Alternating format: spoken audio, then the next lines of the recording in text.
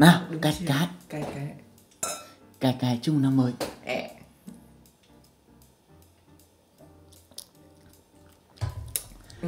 Hello, xin chào các bạn quay trở lại với kênh YouTube của mình. Và đây là một cái chuyên mục mới. Và chuyên mục này mình đã ấp ủ từ năm ngoái. Và đến năm nay mới bắt đầu mới thực hiện nó và nó có tên là chuyện của mùi hương. Và mỗi một số trong chuyện của mùi hương chúng ta lại có một khách mời. Khách mời đây thì đa số trước mắt sẽ là những người quen, cũng có thể là những người lạ. Và các bạn có thể nhìn thấy khách mời chúng ta ở đây. Vâng, một chàng trai uh, diện rất đẹp, còn tôi thì ăn mặc ở nhà tại vì đây là nhà tôi. Thì chúng ta tìm hiểu về khách mời một xíu nhá. Thì uh, trước tiên thì em có thể giới thiệu một chút về bản thân. Ờ, mình chào các bạn. Thì mình tên là Thắng. Ờ, mình là người quen của anh Kiên và cũng là một người rất là yêu nước hoa. Cũng đã có cái thời gian trải nghiệm và chơi nước hoa tính được vài năm. Thế là hôm nay anh Kiên anh cũng ờ, đề nghị mình tham gia vào một số chương trình podcast về mùi hương và về cái chủ điểm thì ờ, ờ, chắc tí nữa anh Kiên sẽ chia sẻ. Ừ. đấy thì rất là vui được gặp các bạn thông qua kênh của anh Kiên. Trước mắt là chúng ta nhìn thấy là người rất đẹp trai da mặt bóng loáng. Đấy, cái này nó cũng liên quan một chút đến nghề nghiệp đúng không? À vâng đúng Thế thì hiện tại thì thắng đang làm công việc gì? À, hiện tại thì em đang ờ, kinh doanh mỹ phẩm. Ừ. và cũng làm chủ yếu về ờ, nước hoa có một chút liên quan đến nước hoa. Ừ. tình tình tình trạng tình trạng mối quan hệ hiện tại.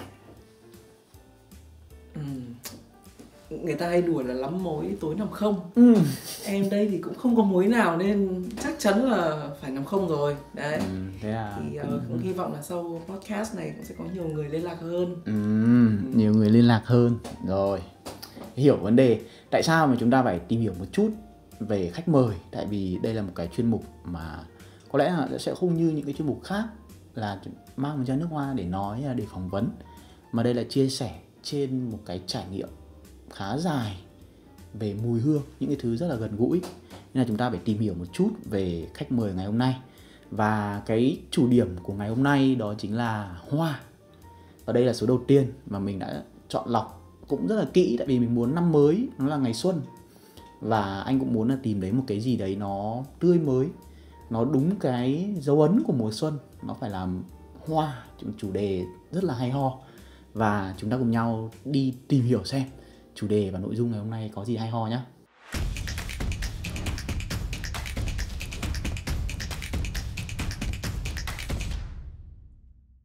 Đầu tiên thì em có thắc mắc là tại sao cái chủ đề nó lại là hoa không? Tại vì nhá, bật mí một tí, mỗi một khách mời lại là một chủ đề khác nhau à, và anh sẽ chọn một cái keyword để làm cho làm sao nó phù hợp với cái khách mời. Thế thì em sẽ đặt ngược lại một câu hỏi cho anh Kiên là Ừ. anh cảm nhận như thế nào về em để anh gán cái keyword là hoa cho em? Ừ. Có lẽ là với với Thắng thì mình đã quen Thắng cũng một thời gian khá là dài. Cũng phải tầm 4 5 năm nhỉ? Trong từ 2019 2018 thì đấy cũng từ cái đợt mà anh gặp Phúc các thứ là cũng gặp được Thắng.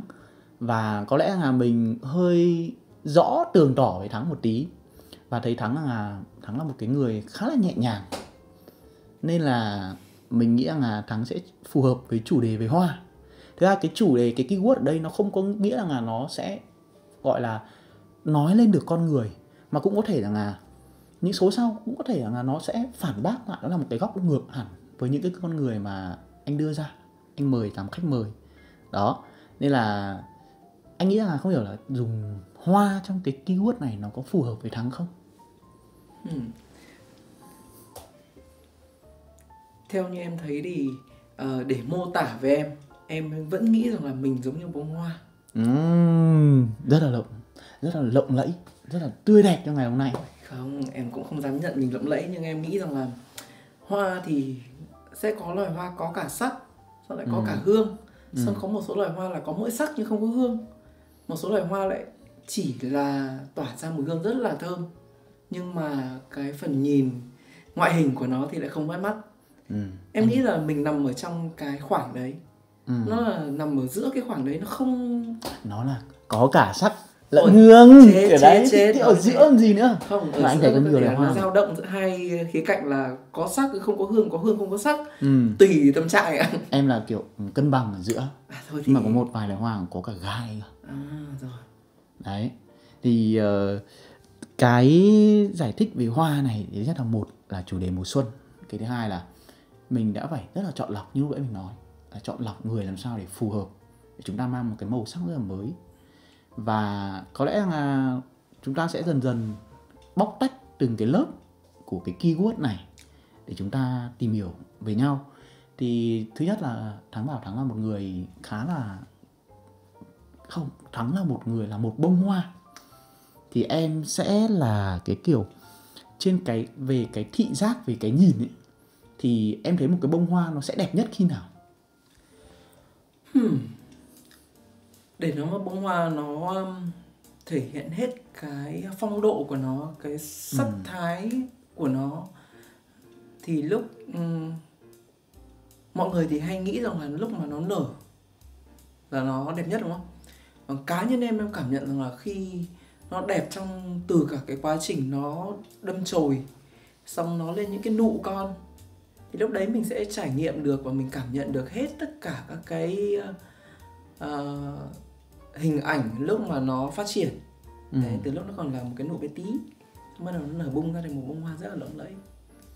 Thế thì một bông hoa thì lúc đấy là chúng ta chỉ ngắm bằng nếu như mà chúng ta chỉ tận hưởng lúc nó đẹp nhất thôi thì có lẽ là lúc đấy nó đã gọi là toàn vẹn về cả về cái tầm về cái cách nhìn và về cả cái mùi rồi. Nhưng mà khi mà em đã bao giờ trải nghiệm một cái bông hoa khi mà nó còn đang còn là nụ hay là nó chớm nở chưa? Nó có khác gì một bông hoa lúc mà nó đã bung nở hết mà nó đã khoe sắc không?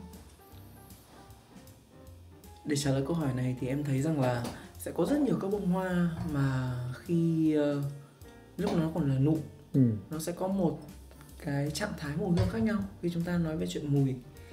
Và khi mà nó nở to nở rộ rồi thì nó lại có một cái mùi khác nữa.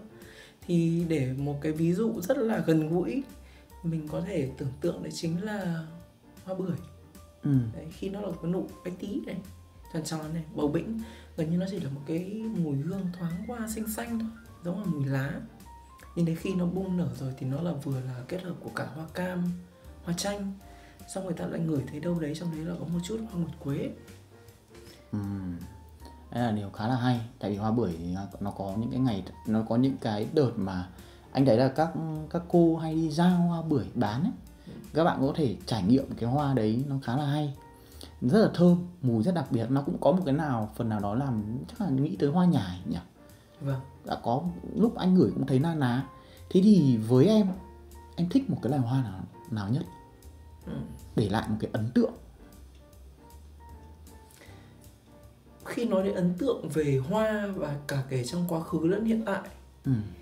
thì à, em ấn tượng nhất đấy chính là hoa đại hoa đại ừ. Ừm. hoa đại tên tiếng anh là gì hoa đại tên tiếng anh là Pragangini à hình như là như thế em không nhớ rõ lắm Ừ. Hoa này hình như anh có nhìn thấy ở trong chùa khá là nhiều đúng không? Ờ, Anh thấy trồng ở các kiểu các các, các cái khu chùa kiểu to to ấy, hoa đại kiểu màu vàng không? hay màu trắng? hoa đại thì em thấy rằng là nó có à, nhụy thì vàng cánh thì cánh thì trắng và có cả hoa đại đỏ hoa đại thì em thấy rằng là thường sẽ được trồng ở trong chùa nhiều nhưng mà ờ, khi liên quan đến cái à, ký ức của em thì em nhớ rõ nhất là hoa đại ở trong sân trường tiểu học sân trường cấp 1 thì à, đây là một cái ấn tượng mình nghĩ rằng tất cả các bạn nào từng học trường Kim Liên cấp 1 Ừ. shout out to uh, Kim Liên thì tất cả những bạn nào đã từng học trường Kim Liên sẽ biết rằng là ở trong trường sẽ rất nhiều cây hoa đại và hình như rằng ở trước ừ, cửa phòng hiệu trưởng có trồng một hay hai cây gì đấy Ừ. thì có cả cây hoa đại đỏ cây hoa đại trắng Ừ. Thế là nó gắn liền với một cái ký ức chắc là cũng khá là lâu đúng không? Nếu mà từ cấp 1 thì nó cũng phải tầm mười mấy năm rồi. Ừ. Nó khá lâu. 20 năm Thì ừ. Không nhớ là bây giờ ở cái trường Kim Liên đấy nó nó nó còn cái cây hoa đại đấy không nhỉ? em nghĩ chắc là còn Ừ. Thế thì em em em em ấn tượng bởi nó bởi cái gì? Bởi cái vẻ đẹp hay là bởi cái mùi hương? em nghĩ rằng là em ấn tượng nó vì nó mùi hương ừ. còn nếu mà so sánh về vẻ đẹp thì nó lại không phải gọi là hoa hậu trong tất cả các loài hoa ừ. có rất nhiều loài hoa khác đẹp hơn chẳng hạn như là hoa xoan chẳng hạn hoa xoan ừ. là một cái loài hoa mà vừa thơm được vừa đẹp hoa hồng thì thôi là đỉnh cao rồi thì không nói nữa ừ. đấy nhưng mà hoa đại uh, là một loài hoa có mùi hương rất là đặc trưng rất là hay hiếm có loài hoa nào có cái mùi na ná giống như vậy ừ. thực ra thì đấy có lẽ là một là trong những cái ký ức đẹp về mùi hương. Tại vì anh thấy rằng là thường như anh nhá thì anh lại có anh có anh không phải là một người thích hoa. Nhưng anh lại có một cái kỷ niệm anh cũng có một cái kỷ niệm về hoa đó là mùi hoa huệ. À. đó nhưng mà nó không phải là một kỷ niệm đẹp tại vì với anh hoa huệ nó là một cái gì đấy nó hơi kinh khủng. Thế là ngày bé khi mà những cái ngày mà sát tết này này hoặc là những cái ngày mà ngày rằm ấy thì mẹ anh hay có cái thói quen đó là mua hoa huệ về để cắm trên bàn thờ và có hôm nào mà vô tình mẹ anh có quên đi qua cái ngày đấy mấy hôm thì cái cảm giác mà chúng ta đi đổ cái nước ở cái ở cái bình mà cắm hoa huệ nó rất là kinh khủng. Và sau này kể cả mình cũng gặp những cái mùi hương giống như thế đó là cana flower cũng là một trong những cái mùi hoa huệ mà mình có liên tưởng đến cảm giác đấy. Thế là mình có cảm giác là mình không thể nào yêu được. Và anh thấy rằng là chúng ta tất nhiên chúng ta sẽ ấn tượng bởi một cái gì đấy kể cả ấn tượng vì mặt tốt hoặc là ấn tượng với mặt xấu thế thì hoa đại này có lẽ là nó sẽ là một cái loài hoa ấn tượng với em. Và nó có nói lên được một phần nào đó về cái tính cách của mình không? Em thì lại không thấy rằng là hoa đại thể hiện được tính cách của em đâu. Ừ. ờ, khi nhắc về hoa đại và cái ký ức khi liên quan đến hoa đại thì em chỉ nhớ rằng là đấy là những cái ngày uh, gần lúc em ờ, được nghỉ hè sau khi tan học rồi thì em nhẩn nha đi quanh sân trường ừ. uh, và đặc biệt là cứ hay dừng lại ở trước cây hoa đại để um, uh, nhặt những bông hoa đại hoa đại trắng này hoa đại đỏ này và đưa lên mỗi người uh, thế thì thế thì nhá bông hoa nào nếu mà được chọn ra một loài hoa để phản ánh được tính cách của mình ừ. thì em sẽ chọn bông hoa nào ừ, câu này khó nha. Ừ, câu hỏi phải khó. Khách mời xem là mình gắn liền với bông hoa nào? Vì mình tự nhận là một bông hoa thì ít nhất là mình phải có một cái hình ảnh về một bông hoa gì đó đúng không? Hoặc em có thể chọn lúc mà em bên cạnh người yêu thì em là một bông hoa gì? Còn lúc em bên cạnh người mình ghét chẳng hạn thì em lại là một bông hoa gì? Thế nó sẽ rất là thú vị nhá tại vì ừ. rằng là trong tùy hoàn cảnh ừ. với tùy từng người mình sẽ thể hiện một khía cạnh nào đấy của bản thân mình ví dụ như em thì em luôn luôn thấy rằng là mình sẽ ở cái sự hòa trộn giữa hoa nguyệt quế ừ. một bông hoa nhỏ nhỏ xinh xinh rất là hay ẩn mình ừ. không nhiều người biết đến được trồng rất nhiều nhưng mà lại không được nhiều người tôn trọng ừ. và hoa ngọc lan à, hoa ngọc lan. lan ngọc lan trắng nhá tại vì đấy nó liên quan đến một cái ký ức hồi xưa của em đấy chính là cái thời điểm hồi em còn bé nhà rất nghèo. Thì uh, lúc đấy cậu em hay uh, đưa em đi chơi vòng quanh hồ tây. Và em nhớ rằng là những cái lúc nào mà khi đi quanh hồ tây sẽ có một cái bà nào đấy hay một cô nào đấy cô chở một cái xe đạp mà có một cái mâm uh, rất là nhiều hoa ngọc lan trắng. Ừ ngọc lan tây ấy, người ta hay gọi là ngọc lan tây và ngọc lan vàng. Và cái mùi hoa ngọc lan đấy thì thật sự là nó nó tạo cho em cảm giác đến bây giờ khi em ngửi lại em vẫn cảm thấy như mình là một người có một cái phong thái rất là sang chảnh. À. Rất là sang trọng. Thế là thắng là một người rất là sang chảnh ôi tưởng chết. Nói thế này thì thế bây giờ là sang chảnh thế bây giờ hoa hoa ngọc lan đấy cái là lúc là em vui hay em buồn? Lúc em bên cạnh người yêu hay là lúc em đối xử với người lạ? Ví dụ như hai anh đến hoa nguyệt quế thì chúng ta thường có lẽ là chúng ta sẽ nghe nhắc đến hoa nguyệt quế nhiều người không biết. Chúng ta sẽ nghĩ tới là một cái vòng nguyệt quế để đeo lên những cái chương trình uh, Olympia. Thì cái cái hoa nguyệt quế đấy nó có cái gì đặc biệt? Và nó nó nó sẽ thể hiện cái tính cách của em khi nào hoa nguyệt quế là một mùi hoa rất là hay ừ. nhưng mà lại rất ít người biết đến ừ. mọi người hay bỏ qua nó thì em nghĩ rằng là đấy là một cái mùi hoa cứng cáp nó hơi lạnh lùng nó hơi sắc sảo một chút và đặc biệt rằng nó đem trong mình rất là nhiều các cái góc cạnh khía cạnh khác nhau ừ. bí ẩn đấy bí ẩn tại vì là khi ngửi nó ở xa người ta sẽ ngửi thấy là ui đây hoa cam hay hoa gì đấy. Ừ. ngửi nó ở gần lại bảo đây hoa nhài. Ồ. Nó rất là thơm rất là lạ là như vậy. Thế là đấy là anh đoán chắc chắn là đấy là lúc mà cái hình ảnh của thắng khi mà thắng gặp những người lạ. Em Ừ. nghĩ là như vậy thôi thì ờ, cảm ơn anh đã đánh giá em cao quá nhưng mà không. Đấy thì mình phải nhìn qua cái sở thích để mình biết được rằng là tại vì mỗi con người ta thì chúng ta sẽ có một cái là định hình phong cách định hình cái gu cũng như là một cái cái tôi riêng trong một quá trình trải dài những cái mà chúng ta đã trải qua từ ngày xưa. Thế thì anh muốn hỏi một tí. Theo em thì cái loài hoa nào là loài hoa của Việt Nam? Đại diện hình ảnh.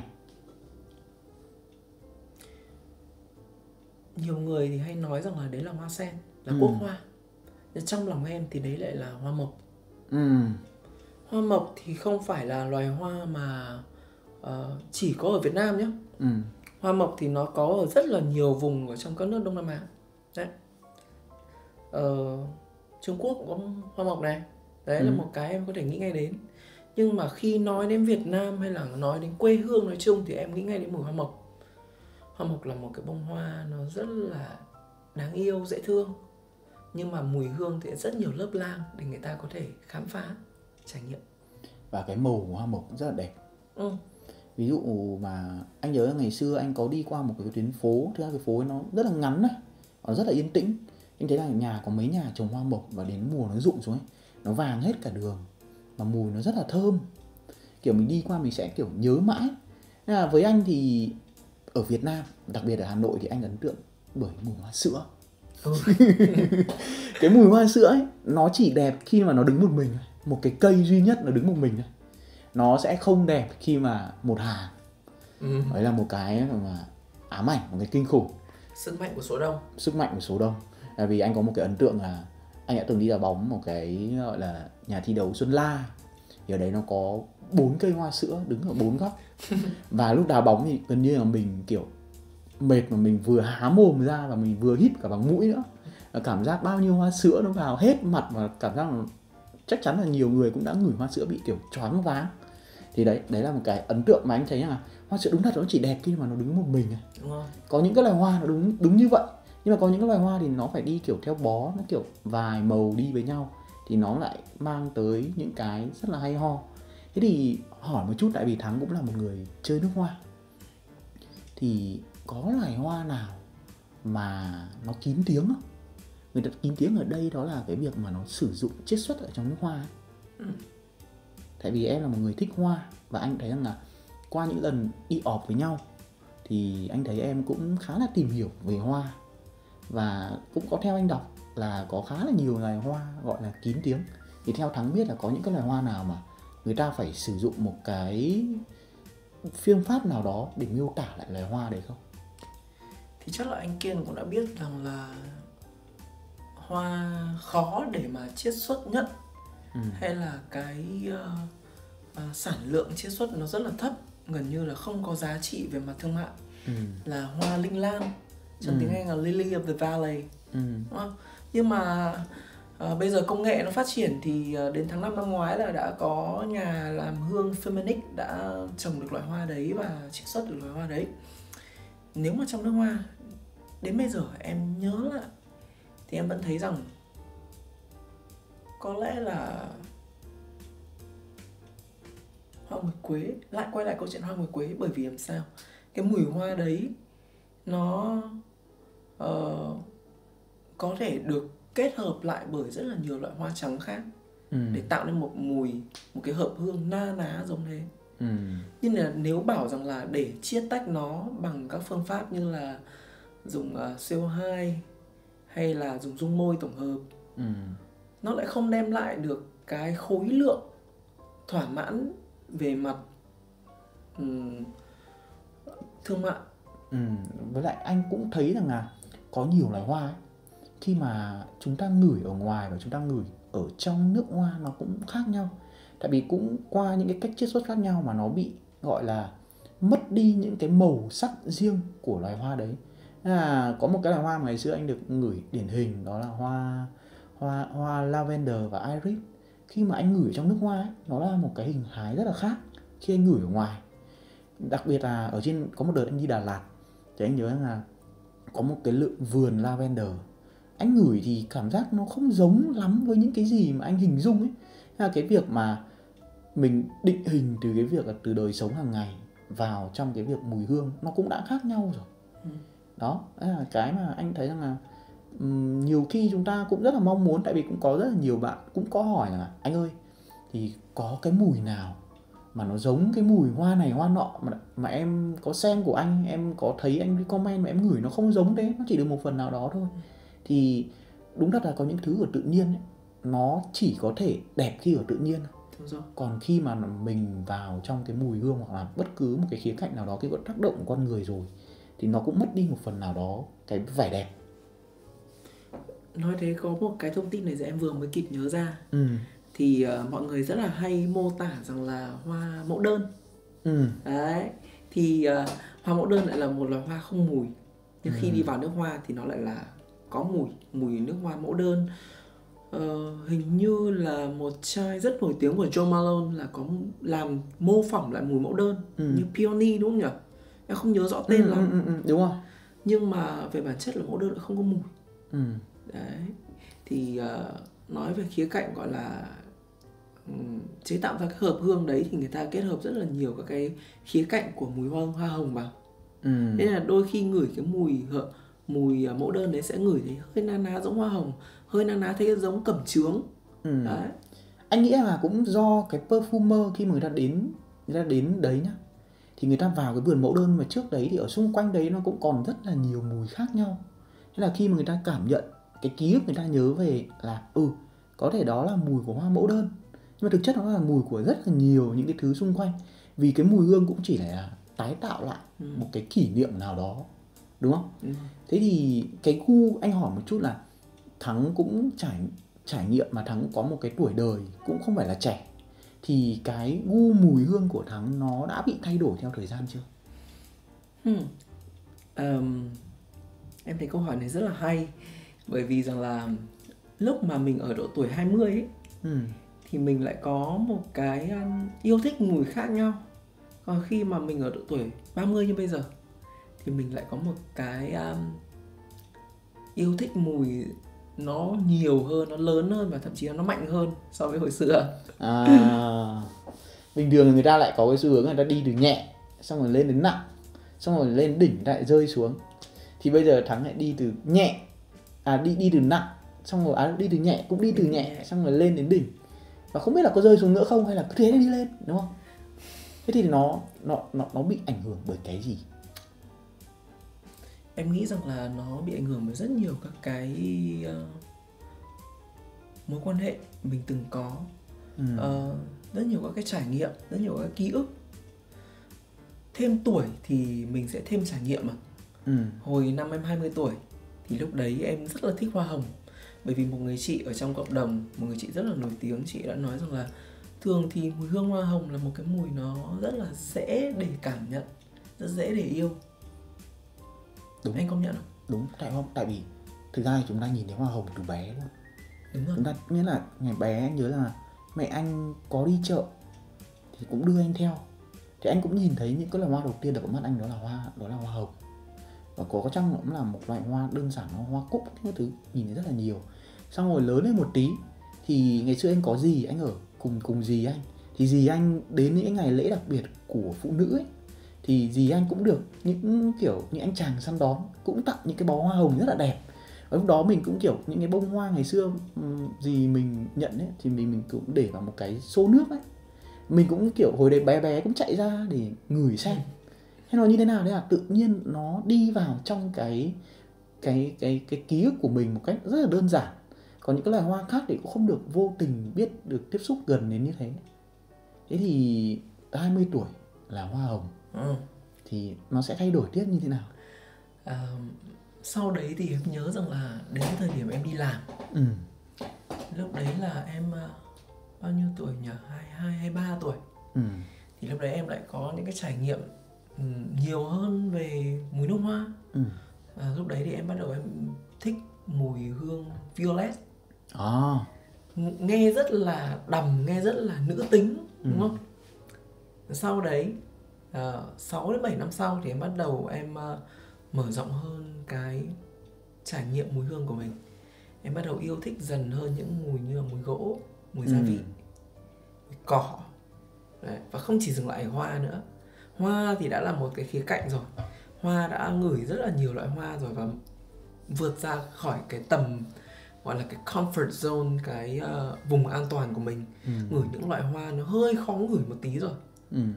và đến bây giờ là lên hẳn những cái mùi như là gỗ hoặc là gỗ trầm à, những cái mùi nó hơi hướng hơi động vật một tí hơi thú tính một tí Nhưng mà ưu tiên hàng đầu ở sở thích hàng đầu chắc là bây giờ vẫn là hoa đúng không? đúng rồi vẫn sẽ Đấy. tìm đến những mùi hoa Thế là tôi mời khách mời đợt này là rất là đúng thời điểm. Chứ ví dụ tầm 1 2 năm nữa nhé. Thắng đổi một phát sang một cái gu khác ở chết thì lúc ấy lại nói chuyện về hoa nó lại không được nhiều chuyện như bây giờ nữa. Cũng có thể thế Đúng không? Tại vì anh thấy là mỗi một cái gu nó chỉ đúng một thời điểm nào đấy thôi. Nhưng ngày xưa anh cũng ừ, anh thích cam chanh này. ừ. đó thế xong rồi dần dần thì được ngửi nhiều được tiếp cận nhiều thì anh mới thấy rằng là anh khá thích rượu tại vì thực ra rượu cũng là không phải là một cái mà làm được ở trong nước hoa đúng rồi mà người ta sẽ truy ngược lại từ cái nguồn gốc làm những cái loại rượu đó đến từ đâu từ những thùng gỗ sồi từ cái ủ trái cây hoặc là có những cái loại được làm từ những loại thảo mộc khác nhau. Thì mình thích nó là tại vì mình đã được trải nghiệm nó từ đời sống xong rồi mình mới thích nó đến mùi hương. Còn nếu mà ngày xưa bảo 18 tuổi mà thích rượu không? Không. Tại vì thực chất là tôi đã được ngửi rượu bao giờ đâu tôi đâu uống rượu đâu mà tôi thích rượu được. Đúng rồi. Đó và nó cũng ảnh hưởng bởi những cái biến cố khác nhau ở trong cuộc đời. Thì nó sẽ làm cho mình có những cái gu nó khác hơn. Ngày xưa thì anh cũng thích những cái mùi nó phải bám tỏa tốt để anh gây ấn tượng. Ừ. nhưng bây giờ anh thấy rằng là anh em trong hội mình thì đều là những người có một cái gu mỗi người có một cái màu riêng. Nhưng mà đa số nếu mọi người đều thích những cái mùi nó vừa phải nó không gây khó chịu cho những người xung quanh. Đấy là cái mà gần như là đấy là cái cái điểm mà đi đến của tất cả những người chơi hương hay sao. Em nghĩ chắc là do bọn mình à, tính tình nhẹ nhàng như thế.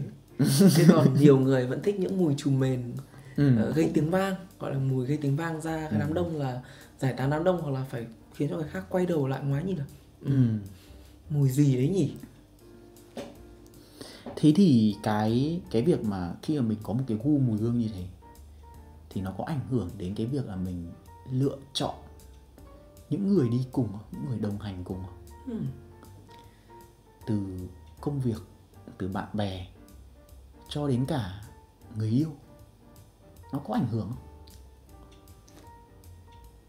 em thì em nghĩ ngược lại rằng là những cái người mình đi cùng sẽ ảnh hưởng đến mùi hương mình lựa chọn Ừ, anh anh thì anh nghĩ là cũng nó cũng sẽ có sự tác động qua lại. ừ. nó là một cái chuỗi để khi mà mình tìm những cái mới thì mình cố gắng mình sẽ sâu chuỗi nó vào và khi mà mình tìm những cái mới đấy thì mình cũng sẽ nhận ra rằng là à có những cái điều mà mình cũng mới mẻ mình cũng muốn cho thêm vào như kiểu một cái vòng tay. Nó mình sẽ cố gắng chọn những cái vòng thứ nhất là có kích cỡ vừa phải đúng với cái kích cỡ mà mình đang có nhưng mà nó cũng phải có một cái màu sắc mới hơn để cho nó nó làm cho cái cuộc sống của mình nó thêm thú vị Ừ. thì tại vì bây giờ chúng ta đang nói chuyện về hoa một tí nên là anh cũng muốn hỏi rằng là khi mình lựa chọn như vậy thì chúng ta sẽ có xu hướng là lựa chọn những cái người cũng nhẹ nhàng như mình hay là chúng ta sẽ có xu hướng là lựa chọn những cái người mà ồn ào hơn để bù lại những cái cái chúng ta đang thiếu đây là góc nhìn của thắng thôi Ừ. góc nhìn của em thì em sẽ um, hướng đến những người giống giống em một chút ừ. cá nhân em thì không phải là một con người quá là ồn ào nhưng cũng không phải là con người quá là à, trầm tính nó ở cái trạng thái dao động giữa hai cái cực đấy Ừ. thế nên là cũng những lúc mà khi em đi chơi hay là em ờ, cảm thấy một cái cảm xúc nào đó trong lòng mình em sẽ tìm những người mà mình gán được cái trải nghiệm cái cảm nhận của mình vào họ. À bạn A thì ờ, rất là sôi động rất là vui tính mình muốn đi cùng với bạn ấy. Còn bạn B thì lại trầm tính hơn mình muốn dành thời gian ờ, rất là chất lượng để Ừ. mà xây dựng mối quan hệ với bạn ấy. Và với mỗi người như thế em lại gắn họ với một mùi hương một một loại hoa thì đúng hơn. Ừ, không cái này rất là hay nhá. Cái việc mà mình gắn với gắn mỗi người mỗi một cái tình huống mỗi một cái sự việc mà mình đã từng trải qua với một cái mùi hương nào đấy thì sau này mình kể lại nó sẽ rất là dễ nhớ. Đấy là cái mà anh nhận ra khi anh bắt đầu anh tìm hiểu sâu hơn về mùi hương. Tại vì anh thấy rằng là mùi hương nó có một cái rất là đặc biệt đó là nó là cái mà có thể một trong những giác quan mà đi vào cái trí nhớ của ta một cách nhanh nhất. Ừ, đúng. Đó. Thì bây giờ từ nãy đến giờ toàn nói cái mình thích rồi. Thế thì em có một cái loài hoa nào mà em cảm thấy là em không thiện cảm lắm? Hoặc là nó gắn với một người nào đó không? Hay là một cái hoàn cảnh nào đấy? Em là một người thích hoa. Ừ. Anh hỏi câu đấy hơi khó khi thích ý, thì người ta sẽ dàn trải hết cái tình cảm cảm xúc ra. Thì bây giờ cho cái nào cái nào là mình thích ít nhất đi. Ôi chết rồi Đấy. khó thế nhở. Hoặc là cái hoặc là, hoặc là cái đứa nào mình ghét là mình gắn nó vào một cái bông hoa gì đấy. Chết chết chết. Hay là nó vô tình mặc cái bông hoa đấy mùi hương của hoa đấy. Khó nhờ cái đứa em ghét ấy ừ. thì em lại đúng là em có gắn nó vào một bông hoa tại vì em luôn luôn nghĩ là cái bông hoa nó khó gần à thế nhưng em là rất thích mùi hương đấy. Thế là lại là nghe thích ở trong ghét à? đấy thế nó mới ừ, chết rồi. không không không có thể là mình ghét bây giờ thôi. Nhưng mà sau một thời gian nữa mình gặp lại có khi là lại thấy giải đáp được những cái mà chúng ta đang mâu thuẫn với nhau.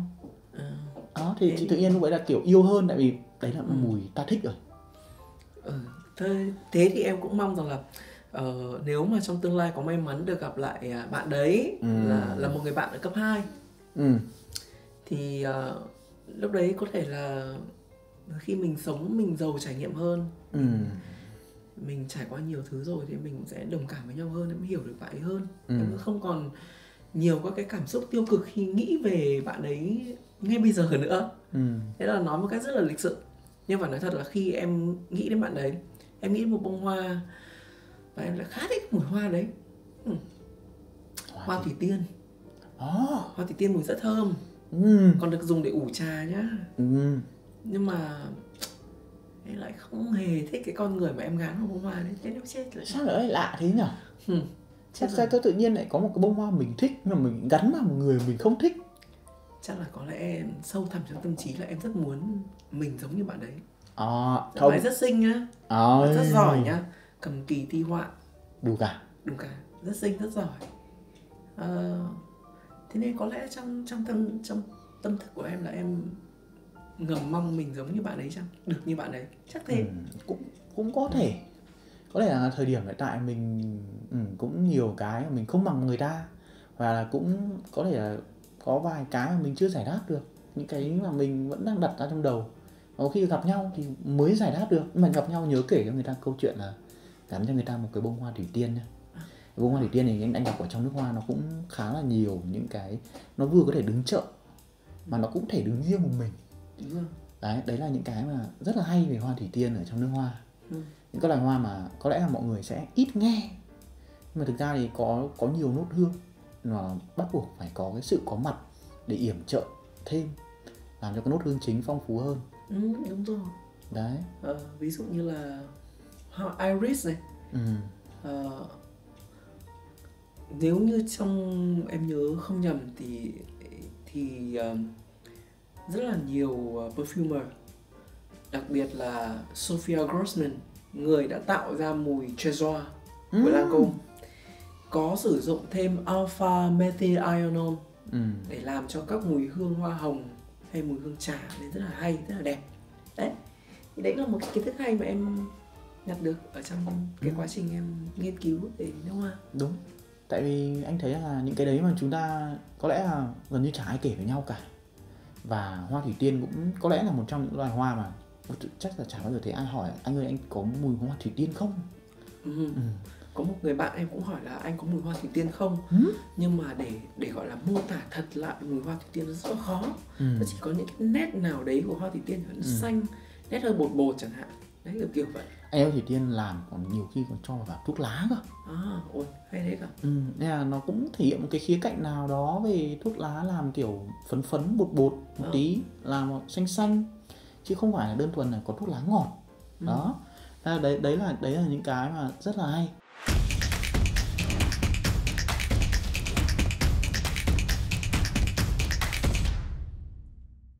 Dạo gần đây thì em rất thích mùi uh,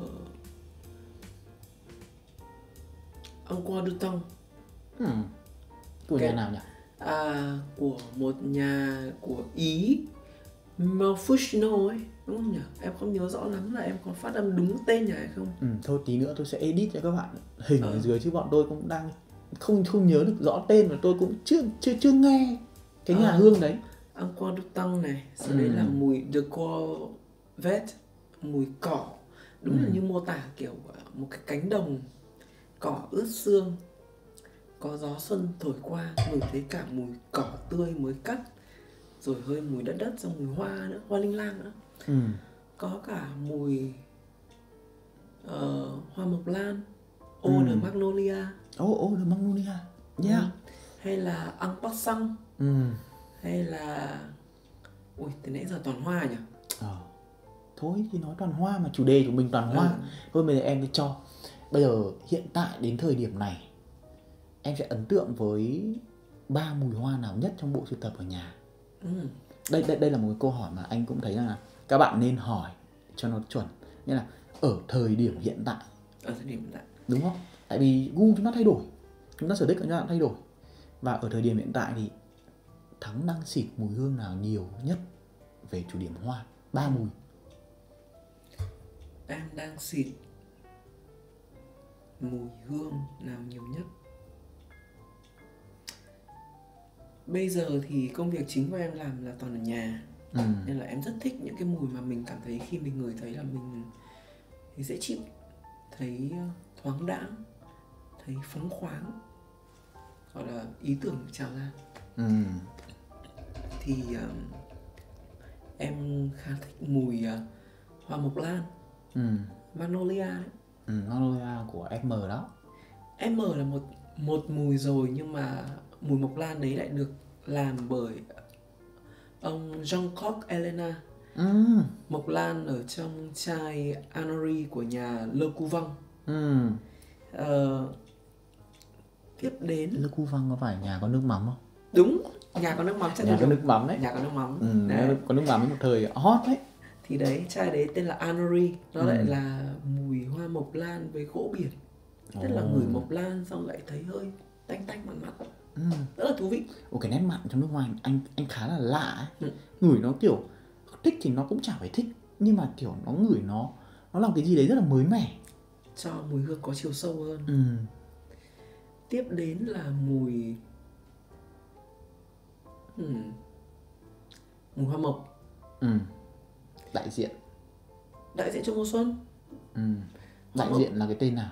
đại diện thì à, là mùi osmanthus của nhà Ormond Jane Ừ. Rồi, nhà có em Quy. ờ Đấy. em Ki đấy Ừ. em trà xanh em trà xanh Em trà xanh. Ờ, Thế thì bây giờ tiếp lựa chọn cuối cùng. bây giờ phải lục lại toàn bộ trí Không nhớ nhá, xem nhưng là mà cái này cái này là quan trọng này, nhỡ đâu có có một anh chàng nào đó À, xem được lại bảo ui trong nhà tôi có hai trên ba mùi rồi. Thôi thì cố gắng tôi cũng đang độc thân rồi. Ừ. thế là về liên hệ. Thế là bảo là ừ xin ra gửi nốt mùi còn lại. Ừ. thế tết đâu chúng ta lại trở nên là một mùa xuân tươi đẹp x2 chứ. Niềm vui thì làm sao? Thế thì à, em cũng hơi em thấy ờ, khả năng đấy là có hơi ít nhưng mà có thể có. Ừ. thì mùi thứ ba dạo gần đây em hay ngửi và hay dùng đấy chính là mùi iris. Ừ. rất lạ nhá tại vì em luôn luôn coi nói thật em luôn luôn thấy rằng iris là một mùi rất là nữ tính. Ờm, mùi rất là trầm. Và ngửi thì họ lại thấy đấy là một người phụ nữ hoặc là đàn ông ít nói Ờ, hơi có một cái gì đấy ở dưới băng đấy là một cái gì nó rất là nồng nhiệt Ừ. nhưng ở trên rất là lạnh lùng người ta hay nói um, là các uh, soái ca uh, trong ấm ngoài lạnh Ừ. phí nhiều tiền đấy Đấy. thì em lại nghĩ rằng iris nó đảm bảo được đúng mấy cái khía cạnh đó chính là trong ấm ngoài lạnh người ban đầu là hơi phấn phấn rất là man mát rất là dễ chịu nhưng càng ngửi sâu xuống phía dưới càng thấy có độ ấm nồng hơi gỗ gỗ hơi mặn mòi một tí hơi ẩm ẩm một tí. Nó là cái tổng hòa rất là thú vị. Tất cả các cái khía cạnh nói đến mùi hương. Thì em đang thích đấy là chai Nemor của một nhà nước hoa của Ý. Ừ. Đấy. Ờ. Thì nó là cũng xoay quanh chủ điểm là iris và mùi cà rốt. Mùi cà rốt mùi hơi rau củ quả hơi hoang dại tí người rất là hay Ừ. thú vị. Này những cái những cái tên này tôi cũng mới nghe lần đầu đây. Thắng nhiều con bí mật lắm. Chê. nên là bạn nào mà có nhu cầu ờ, hỏi nước hoa thì cũng có thể tôi đã để cái link ở dưới để mọi người tham khảo. Và đặc biệt là về cái khâu mỹ phẩm nữa. Ừ. đó còn bạn nào mà muốn lấy cái lý do là hỏi về hoa để có thể rằng là liên hệ gặp thắng riêng thì cũng có thể liên hệ qua đấy. Thì bây giờ cái video này là vào mùa xuân. Thì đối với em loài hoa nào đại diện cho mùa xuân? Loài hoa nào đại diện cho mùa xuân à? Của Việt Nam hay là của em cảm nhận thôi. Ừ.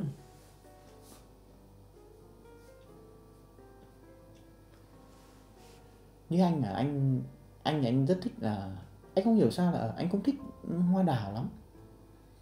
Đó. Anh thì anh lại thích mai cơ. thì anh thấy là mùa xuân với cái màu vàng nó rất là hợp với nhau. Đó.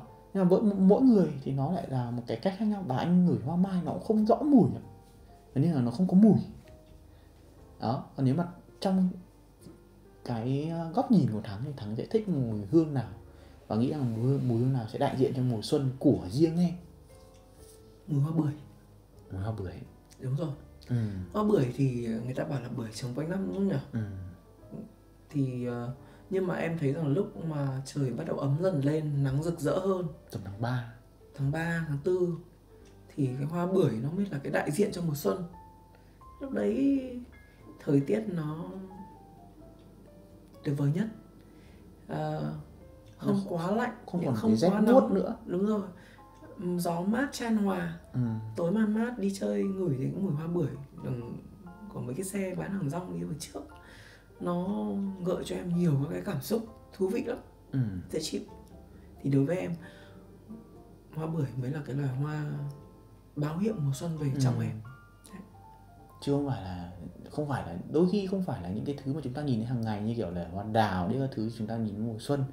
Và đối với mỗi người thì chúng ta lại có một cái góc nhìn khác một cái một cái hình ảnh hay là một cái mùi hương để nhận diện cái thời điểm Ừ. cụ thể. Đấy đấy là cái mà anh cũng nhìn ra khi mà anh cố gắng anh sâu chuỗi những cái thứ để nó vào cái mùi hương. Tại vì khi mà mình ví dụ như em làm mỹ phẩm chẳng hạn đồ để chăm sóc cho da thì em cũng phụ thuộc vào cái là chính cái người sử dụng. Thì chúng ta cũng cần có cái góc nhìn đứng trên góc độ là da của người sử dụng thì anh cũng cố gắng là đi vào cái phần mùi hương để trên là mỗi một cái thời điểm khác nhau thì chúng ta lại có những cái mùi hương làm sao là nó tốt nhất. Tại vì nếu mà cứ chung chung chung, nhiều khi chúng ta lại đánh mất bản thân mình vào những cái đấy, mà anh cũng thấy rằng là khi mà chúng ta có cái sự liên hệ từ những cái hình ảnh đến những cái trải nghiệm như cầm nắm một cái tay của một anh chàng nào đó hoặc là tay của một cô gái nào đó kết hợp cùng với cái mùi hương và cái ánh nắng chan hòa ngày hôm đấy thì chắc là kiểu nhớ mãi không quên đôi khi Ờ. sau rồi kiểu lấy vợ rồi mà bỏ nhau rồi ấy. Ừ. bỏ nhau xong rồi lấy vợ có người khác rồi khi vẫn nhớ đến hình ảnh đấy đấy là cái mà mùi hương nó làm rất là tốt em nhớ được một câu trong tiếng anh đó chính là perfume à? perfume is the most intense form of memory ừ. tức là mùi hương là đại diện cho cái ký ức mạnh mẽ nhất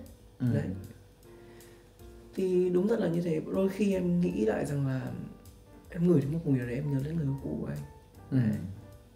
hoặc là một cái mùi hương nào đó nó khiến cho em dịch chuyển về vừa qua cả không gian vừa qua cả thời gian về là một cậu bé hồi lớp 5 chạy chơi trên sân trường mùi hoa gạo này.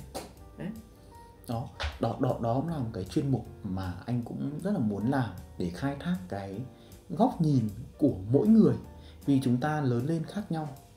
Chúng ta sinh ra ở trong một cái gia đình khác nhau rồi. Và cái yếu tố từ bé đến lớn chúng ta được tiếp cận với những thứ nó cũng khác với hoàn toàn với mọi người. Và mỗi người chúng ta lại có một cái câu chuyện để kể và một cái mùi hương là kể. Và nếu như cái mùi hương đấy nó có đồng điệu với ai đó thì đó là một cái sự tuyệt vời.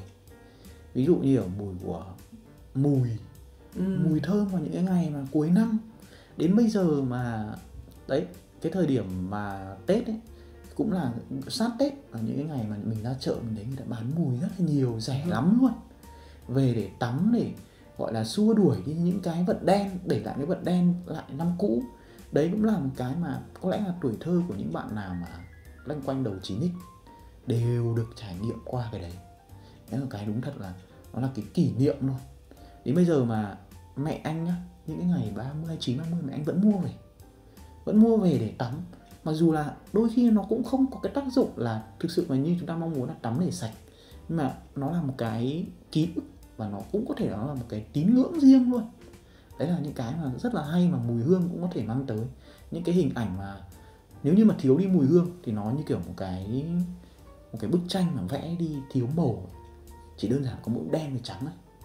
thì đó là cái mùi hương mà rất là đặc biệt mang tới mà cái chuyên mục này mình cũng muốn cố gắng làm sao để duy trì, để ít nhất là nếu như những bạn nào mà xem kênh và những bạn khách mời tham gia, các bạn cũng có một cái là tô vào một cái bức tranh chung trên cái kênh youtube của tiên và bức tranh đấy thì chắc chắn cũng sẽ là bức tranh của rất nhiều người. Mỗi người chúng ta điểm một cái màu riêng vào cái bức tranh đấy để làm sao nó đẹp nhất nó để nước hoa nó không chỉ đơn giản là để chúng ta gây ấn tượng. Tại vì thực sự là có một cái mà anh rất rất là muốn chia sẻ đó. Nhiều khi mình nhìn ở ngoài thì đôi khi nước hoa nó nó là một cái gì đấy nó quá là thực tế quá, thực dụng quá. Nhưng thực sự thì mùi hương nó đẹp hơn thế rất là nhiều. Đó, thì không biết là thắng có gì chia sẻ nữa hay không? Em thì ờ, chỉ mong rằng là nếu mà mọi người có thời gian hãy dành ra cho mình một cái uh, khoảng uh, thời gian rất là nhỏ trong ngày để biết để uh, tận hưởng cái mùi hương trân trọng ừ. cái mùi hương đấy có thể nó đến từ uh, một bông hoa nào đấy hoặc là nó có thể đến từ một cái món ăn nào đấy của các bạn chẳng hạn hay chỉ đơn giản là khi bạn ôm lấy người bạn yêu bạn ngửi thấy cái mùi hương của người yêu ừ. trân trọng cái đấy nó sẽ làm dịu làm nhẹ đi rất nhiều các cái um, khó khăn mà hôm nay bạn có thể gặp phải. Chậm lại một tí. Đúng không? để cảm nhận những thứ. Tại bây giờ nhanh quá. Chúng ta đang bị quá là nhanh. Đấy chúng tôi vừa có một cái chia sẻ những góc nhìn của cá nhân vào những ngày đầu xuân năm mới.